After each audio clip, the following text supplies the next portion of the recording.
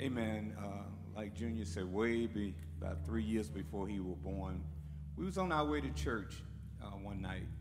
We're from Birmingham, Alabama. Amen. We, we're not from, we're not Houstonians, and uh, we were on our way to Talladega, Alabama, for a Bible class. And uh, I normally exit the same exit every time to get gas. Well, this time when I exit uh, to get gas, uh, me in a car, we stopped. I was going to the left, he was going to the right. I was going to Exxon, he was going to Shell. Amen. So it was a little slope, a little hill. And uh, just as both of us was turning, here come a record truck over the hill and didn't see me turning in. And jammed right into us. Amen. I got fractured ribs and um, cut up in my head, scar. But Anita and my god sister and her children, they were in the car. But for some reason, Anita got the worst of it.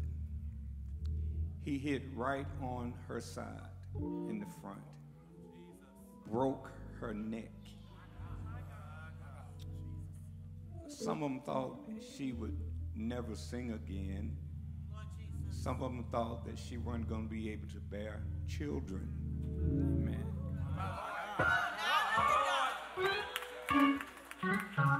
But God is good, isn't He? She had to wear a halo uh, for some time. And, uh, but thing about her, she never did stop going. Once she could get up out of that chair, uh, out of that house, we went, she sung with the halo on her head. Amen. God was good to us. Because so many had accidents like that and they didn't make it out alive. But God. But God. Both of us could have been gone. All of us that was in the car, the, car was totally demolished. Amen. And like I said, one thing about her, she kept the faith. And the doctors had given her a certain amount of time to wear that halo. But she's my witness, and she's her own witness that God brought her out of that halo before it was time. Probably because of her faithfulness, and probably because she never gave up. Amen. Like I said, she kept on singing. First time she came to church, she sung sitting in the chair. Amen. But she never stopped singing. Amen. So God's been good to us and been good to my children, my sons, my grandkids. Amen. He's just good. And he's brought us from a mighty long way. Junior wanted to go back old school with them. She got a boot on her leg, you know, but she gonna be all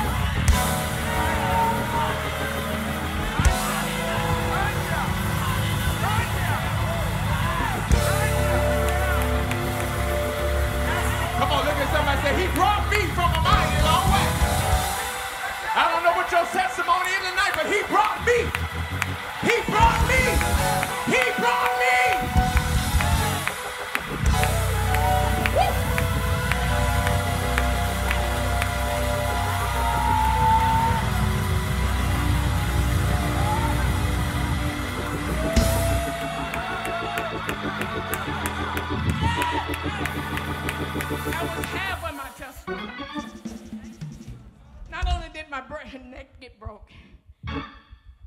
I said, I kind of put me in the mind of Jesus because when I'm at the airport, this arm go off because I got two plates in it because pins would hold it together. Wow. I was in the hospital 46 days. My Lord. I had to learn to walk again. But God's good. God's good. God's good.